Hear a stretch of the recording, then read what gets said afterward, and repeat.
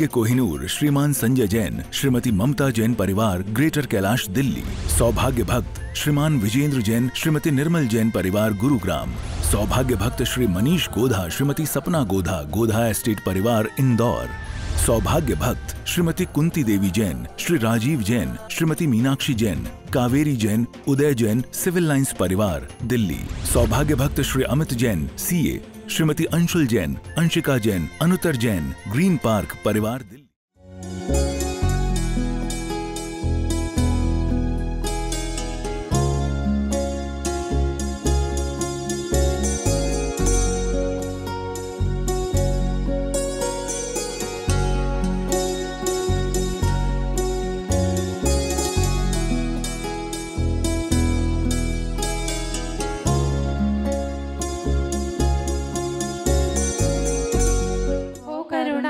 కరుణానిధి మమ్మ దుఃఖమేడు యాతే మే పూజో ओम ह्रीं श्री प्रथम ऋषि आदिनाथाय नमः छुदारूप महामुद कृष्णाय दीपेंद्र पामदी दीप धूप फल अर्घ्य सुलेकर नाचत ताल मृदंग बजा श्री आदिनाथ जी के चरण कमल पर बलि बलि जाऊं मन बचका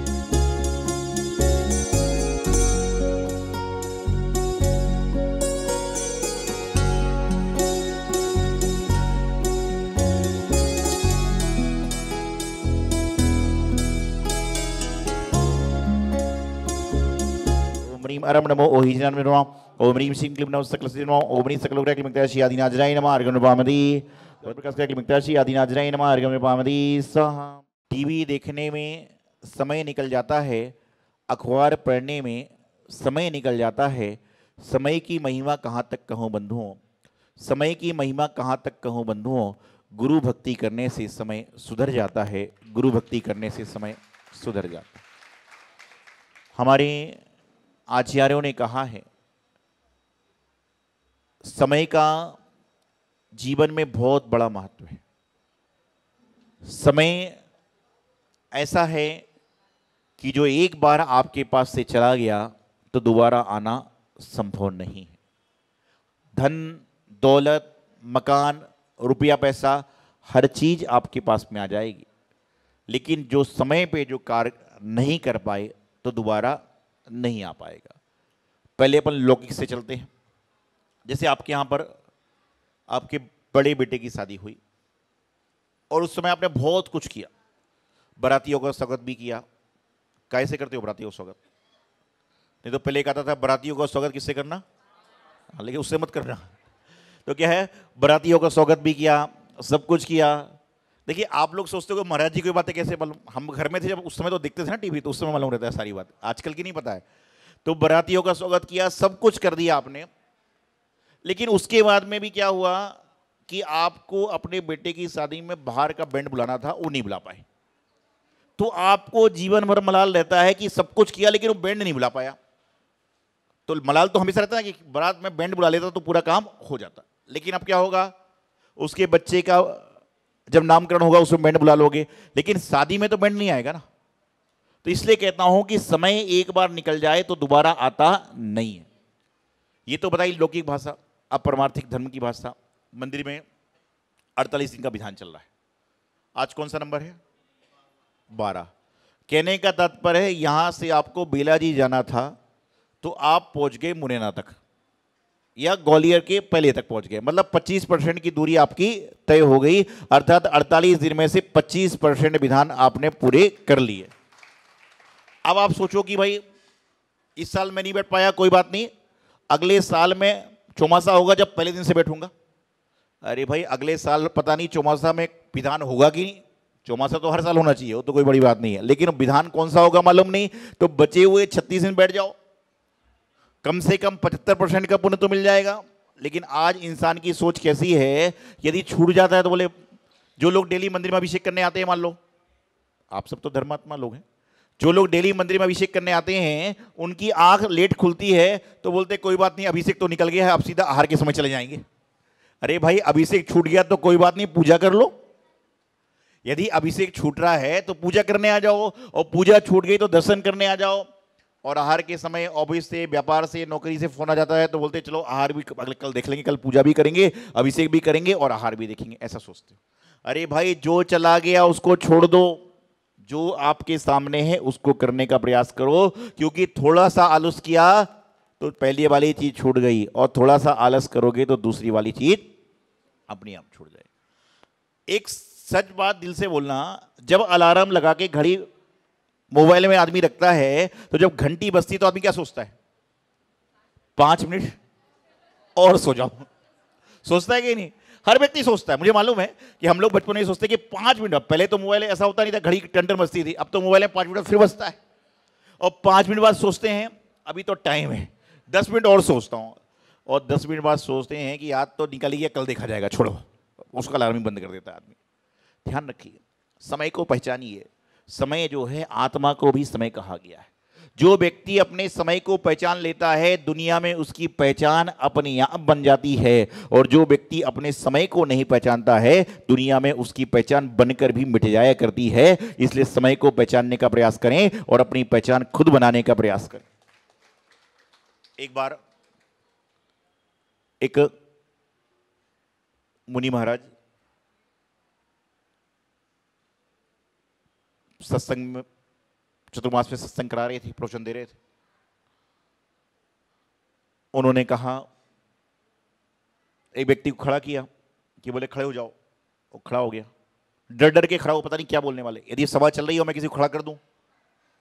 तो कई तो खुश होते कि, चलो महाराज जी, मुझे खड़ा तो कर रहे हैं। और कई सोचते पता नहीं क्या बोलने वाले दोनों तरह के लोग होते हैं। तो खड़ा हुआ पूछा महाराज ने बोले, तुम्हारी उम्र कितनी है? बोले, सत्तावन साल की। महाराज बोले, गलत बोल रहा है, बैठ जाओ। दूसरे को खड़ा किया महाराज जी ने। बोले, तुम्हारी उम्र कितनी है? बोले, पैंसठ साल की। महाराज बोले, गलत बोल रहा है, बैठ जाओ। तीसरे को खड़ा किया, हर व्यक्ति अपनी उम्र बता रहा है, महाराज बोल रहा है, गलत बोल रहा है, बैठ जाओ। तो लोगों ने बोला, पहली बात तो महाराज जी को उम्र से क्या लेना देना है?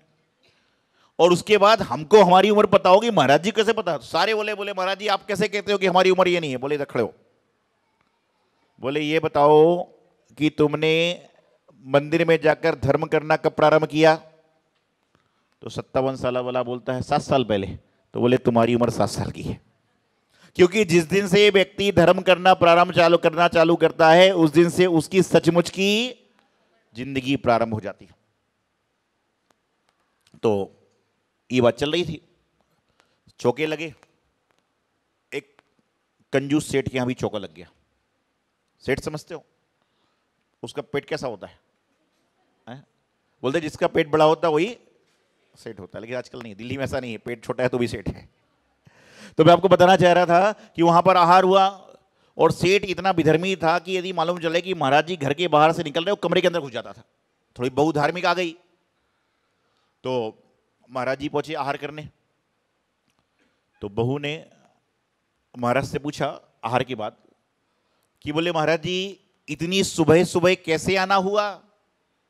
सेठ कहता, मेरी कितनी बहू पागल है, ग्यारह बज रही है और पूछ रही है, इतनी सुबह सुबह कैसे आना हुआ? तो बहू ने जब ये प्रश्न किया तो महाराज बोले कि समय का कोई भरोसा नहीं था, इसलिए सुबह सुबह ही निकल गया। सेठ ने बोला, भगवान, क्या होने वाला है? इतने में महाराज ने पूछा बहू से कि, तुम्हारी उम्र कितनी है?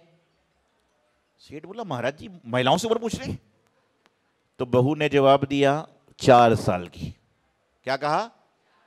सेठ ने बोला, महाराज तो महाराज, मेरी बहू भी ऐसे ही है। इतने में उसने पूछा कि तुम्हारे पति की उम्र कितनी है? बहू से महाराज ने पूछा कि तुम्हारे पति की उम्र कितनी है? बोले, तीन साल। सेठ बोला, क्या नालायक है? पति बड़ा होता है कि पत्नी बड़ी होती है? आजकल तो सब चल रहा है। तो उसके बाद में उसने पूछा कि तुम्हारी सास की उम्र कितनी है? बोले, डेढ़ साल। बोले, ये तो पूरा घोर कलयुग हो गया पति पत्नी की उम्र ज़्यादा हो सकती है, लेकिन सास की उम्र बेटे से छोटी कैसे? इतने में आया नंबर ससुर का। उसने पूछा कि तुम्हारे ससुर की उम्र कितनी है? उसने दोनों कान खड़े कर लिए, सांस अंदर की अंदर, बाहर की बाहर, बोले, पता नहीं क्या बोलने वाली है। बोले, पता नहीं क्या बोलने वाली है? बोले, ससुर की उम्र कितनी है? बोले, मुनि महाराज, नमोस्तु, ससुर जी तो पैदा ही नहीं हुए। क्या कहा? मुनि महाराज, नमोस्तु, ससुर जी तो पैदा ही नहीं हुए। बोले, उसका माथा टक लिया बाहर आ गया। बोले, महाराज जी क्या क्या बातें आप करते हो? कैसी पागल बहू है? तमाम तमाम बोले, क्यों? बोले, आपने इससे उम्र पूछा। पहले इसने आपसे पूछा कि सुबह सुबह क्यों निकल आए? आप ग्यारह बजे, साढ़े ग्यारह बजे, भर दोपहर में बोलते हो कि समय का पता नहीं है? तो बोले, महाराज, बोले, एक काम करो, इसका जवाब संध्या काल में देंगे. हाँ सेठ जी बोला, बोले हाँ दस पाँच आदमी लेके भी आऊँगा। ऐसे मौके पे जो मंदिर नहीं आता, वो भी आ जाता है। तो पहुँचे सब लोग। तो महाराज से सबने बोला, बोले, महाराज जी, कैसे कैसी बातें, चौकों की बात करवाते हो आप? और कैसे कैसे जवाब देते हो, और आप डांटते भी नहीं हो? तो बोले, महाराज, बोले, क्या हुआ? बोले, क्या नहीं हुआ बताइए? क्या हुआ है तो छोड़ो क्या क्या नहीं हुआ बताइए? बोले, बताओ। बोले, आपसे मेरी बहू ने पूछा कि सुबह सुबह कैसे आना हो गया? तो आप साढ़े ग्यारह बजे दोपहर को बोल रहे हो कि समय का कोई भरोसा नहीं है? हो सकता आपके पास घड़ी नहीं होगी, मैं घड़ी लाके दूँगा। तो महाराज बोले, भैया, तुम्हारी बहू तात्विक है, धर्म को जानने वाली है। बोले, समझ गया कि पिछले तीन महीने से रोज प्रवचन में आती है, रोज आहार देने आती है, इसलिए आप उसकी बहू की तारीफ़ तो करोगे? मतलब महाराज पे भी ब्लेम है। यदि लगातार कोई व्यक्ति आ रहा है सेवा में तो महाराज देखिए भाई, स्वाभाविक रूप से जो डेली भगवान के पास में आएगा तो पुजारी उसको जानने लग जाएँगे कि नहीं लग जाएँगे? आज लोग राजा श्रेयांश को ही क्यों जानते हैं? बताइए मुझे। क्योंकि सबसे पहले आहार दिया, देता आहार और उन्हें नहीं दिया क्या? लेकिन रुक, मुख से राजा श्रेयांश ने दिया। तो महाराज ने बोला, ऐसा कुछ भी नहीं है, हमारे तो सारे बराबर हैं। तो बोले, बताइए कि प्रातः काल में कैसे आना हुआ? तो उन्होंने जवाब दिया कि समय का कोई भरोसा नहीं था मतलब ये था कि मेरी उम्र 20-22 साल में थी तो 20-22 साल की उम्र में मैंने क्या किया? सन्यास को ले लिया। 20-22 साल की उम्र में मैंने सन्यास को धारण कर लिया तो उसका तात्पर्य ये था कि भैया पता नहीं समय आएगा कि नहीं आएगा, बुढ़ापे का क्या भरोसा? आप लोग क्या कहते हो? जो करना है आज कर लो कल का भरोसा नहीं, लेकिन धर्म के लिए नहीं, दूसरे कार्यों के लिए। तो वो बात समझ में आई कि चलो मुनि महाराज ने तो इसलिए वो ले लिया कि समय का कोई भरोसा नहीं है। लेकिन बोले आप जो मेरी बहू लगभग पैंतीस छत्तीस साल की हो गई है उससे आपने पूछा कि तुम्हारी उम्र कितनी है? तो इसने क्या जवाब दिया? चार साल। कुछ सासू सोच रही मेरी बहू क्या बोलने वाली है? तो क्या हुआ? बोले चार साल। तो महाराज बोले इसका आंसर वही देगी। तो उन्होंने बहू से पूछा कि भाई क्यों? तो बोले मैंने सुना था कि जो व्यक्ति जिन्हें धर्म में जन्म लेता है, लेकिन पूजा पाठ करना प्रारंभ नहीं करता, तब से उसकी उम्र चालू नहीं होती। तो बोले, पिछले साल जब मैं अपने पियर गई थी तो आप पिछले चार पाँच साल पहले जब मैं पियर गई थी तो आपका वहाँ पे बाचना चल रही थी। तो मेरी सहेली ने बताया कि महाराज जी आए हैं अच्छा बोलते हैं, ऐसा करते हैं, वैसा करते हैं। तो उन्होंने क्या किया कि उन्होंने क्या करा कि उनकी बात को सुनी। मैंने उनकी बात को सुना तो सुनने के बाद मुझे लगा कि धर्म करना प्रारंभ करना चाहिए। तो मैंने चार साल पहले धर्म चालू किया, इसलिए मैं चार साल की हो गई। है तो बोले, तेरा पति तीन साल का कैसे है? बोले, जब मैं साल भर में धर्म में रचपच गई तो मैंने सोचा कि पतिदेव को भी धर्म में लगाना है। तो एक साल बाद मैंने पतिदेव को धर्म में लगाया तो उनकी उम्र घर जाकर पति पत्नी अपना कैलकुलेशन करके बताना मुझे कल, किसकी उम्र बड़ी है, छोटी है। उसके बाद बोले, सासू की डेढ़ साल कैसी है? बोले, जब पति भी धर्म में लग गया, पत्नी भी धर्म में लग गई तो मैंने उसका सासू को धर्म में लगाना है। तो सासू माँ को धर्म में लगाया तो सासू माँ डेढ़ साल से धर्म में लगी तो डेढ़ साल फिर उसने, ससुर जी का नंबर आया तो हाथ जोड़कर खड़ा हो गया, बोले, महाराज जी, मैं समझ गया कि मैं पैदा क्यों नहीं हुआ। बोले, क्यों? बोले, मैं मंदिर ही पहली बार आया हूँ। तो मुनि महाराज ने कहा, सबको तथास्तु कहा समझा दिया। फिर मुनि महाराज ने बहू से फिर पूछा, बोले, जाते जाते एक प्रश्न और है। सेठ जी बोला, पता नहीं क्या बोलने वाली है। बोले बोले, पूछिए। मुनिराज बोले बोले, बासा खाते हो कि ताज़ा। समझते हो? बासा किसको बोलते हैं? पुराना और ताज़ा मतलब नया। बोले, बासा खाते हो कि ताज़ा? बोले, महाराज जी, हमारे ऐसे पुण्य कहा जो हम ताज़ा खाएँ? हम तो बासा ही बासा खा रहे हैं। सेठ बोला, रोज गरम गरम बनता है, सुबह शाम दोपहर में तो ही बोलती बासा। बोले, कैसे? बोले, हमने तो जो पुराने अच्छे कर्म किए हैं, उसका फल खा रहे हैं, उसका फल भोग रहे हैं। इस जन्म में तो हमारे घर में अच्छा कर्म होता ही नहीं, चौका लगता ही नहीं, पूजा पाठ होती ही नहीं। तो ससुर जी ने कहा, महाराज जी मैं नियम लेके जाता हूँ कि एक महीने तक लगातार चौका लगाऊँगा। बहुत बढ़िया। अब ससुर जी, थोड़ा व्यापारी था, कंजूस था। उसकी किराने की दुकान थी राशन की। वो गोदाम में गया, गेहूँ वगैरह मंगवाए और चौका लगाया। महाराज तो नहीं पड़ गए, उसको बांट के आ गया लोगों को। अगले दिन जब ससुर जी भोजन करने बैठे तो उनकी रोटी जो आई, उसमें कंकड़, दाल में पत्थर तो उसने बहू को बोला, बहू, आज खाना कैसा बना दिया? उन्होंने कहा, ससुर जी, मैं आपको खाना वही खिलाने का प्रयास कर रही हूँ, जो आपको अगले जन्म में मिलेगा। बोले, कैसे? बोले, जैसे कंकड़ वाले आप चावल बांट रहे हो, जैसे कंकड़ वाले गेहूँ, दाल बांट रहे हो, वैसे ही तो आपको अगले जन्म में खाने मिलेगा। इसलिए उसकी तैयारी मैंने अभी से आपको करा दी कि अगले जन्म में आपको इस तरह से मिलेगा। ध्यान रखना, अपने समय का उपयोग कीजिए। कहानी तो बहुत लंबी है, लेकिन सच में बताने का सार यही है कि जो अपने जीवन का, समय का उपयोग कर लेता है, उसको जीवन में कोई तकलीफ़ नहीं होती। आज घर जाके सारे तत्व, चिंतन, मंथन करना और कल मुझे प्राइवेट में बता देना चल जाएगा कि उम्र किसकी कितनी है। सब सामूहिक मत बताना चल जाएगा किसकी कितनी है, किसकी ऐसा ना हो कि बच्चों की उम्र माँ बाप से ज़्यादा निकल जाए। ऐसा भी होता है। ऐसा भी होता है कि बच्चों की उम्र माँ बाप से भरत चक्रवर्ती, उनके पुत्र आदिनाथ भगवान उसके पहले ही चले गए, कितना होता है सारा? तो ध्यान रखिएगा, ऐसा भी हो जाए तो कोई बड़े आश्चर्य की बात नहीं है। तो जिस दिन से जीवन में धर्म की शुरुआत हो गई, उस दिन से आपका जीवन सार्थक हो जाता है। आप महाराज जी के पास में आते हो। पूछते हो, महाराज जी, आपकी उम्र कितनी है? कोई बोलता, दो साल। हम बोलते, चौबीस साल। तो सोचते हैं लोग, चौबीस साल दीक्षा को, भैया, जिस दिन मेरी दीक्षा हुई है, उस दिन से ही हमारा नया जन्म हुआ है। तो आप जब दीक्षा लोगे, जब लोगे दीक्षा कब लोगे पता नहीं, लेकिन दीक्षा नहीं ले पा रहे हो कोई बात नहीं, लेकिन कम से कम जिन्होंने दीक्षा ले ली है, उनकी सेवा करने का, पुण्य अर्जन करने का प्रयास करें तो यही आपकी सेवा हो जाएगी। ज़िंदगी में प्रत्येक व्यक्ति को जिसने जैन कुल में जन्म लिया है पाँच छह कार्य ज़रूर करने का प्रयास करना चाहिए, सभी कान खोल के सुनो, बहुत अच्छी बात है। जिसने जीवन में अपने पाँच छह कार्य कर लिए, उसके जीवन का बेड़ा पार हो गया।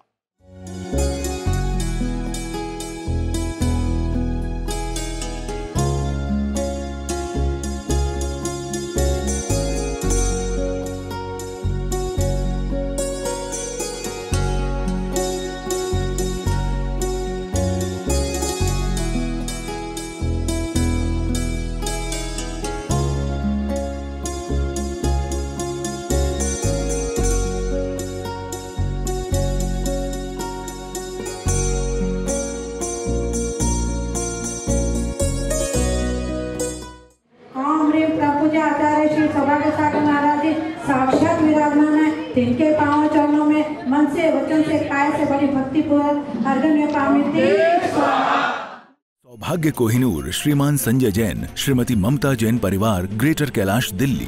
सौभाग्य भक्त, श्रीमान विजेंद्र जैन, श्रीमती निर्मल जैन परिवार, गुरुग्राम।